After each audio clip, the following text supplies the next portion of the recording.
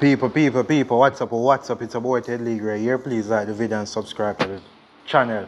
So anyways, people, I think this is my last um, video covering the Jamaica under 20 team. Um, you know, disappointed that we never reached the final, the, the World Cup, but truth be told, a lot of us was wasn't expecting it, you know, so going to the quarterfinal, I said from the beginning, it would be a win for me.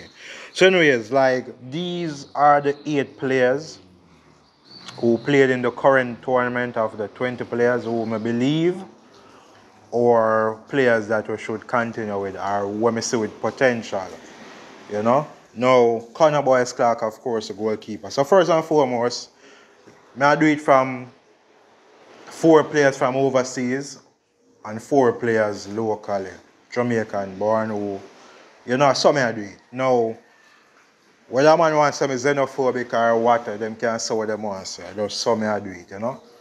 Now, these are the eight players who I see with potential. Connor Boyce-Clarke, goalkeeper, Luke Badley-Morgan, and the centre back left footed, you know. Yeah. Tyler Roberts, him a number three for me, you know.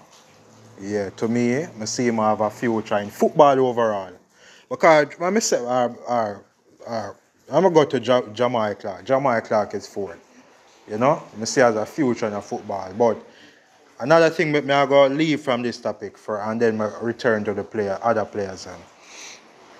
We see now the few past where some players perform at this championship and we see now the few, them not come out to nothing in a football. And also we see players were never performing at the championship. We see them have good career in our football. So sometimes some players will have good tournament and bad tournament, you know. Sometimes this tournament will, will um, build or kill a person's career, you know. It is what it is. But going on to the other four players, Romain Blake, the 16-year-old, this youth have a future. Whether as a centre back or a holding midfielder, even right back to, this youth have a future. I think the next season for Waterhouse, them to make him play, give him some minutes, or make him go overseas, but give him some minutes. Devonte Campbell, the tricky winger, the tricky midfielder, him have a future. You know what I mean?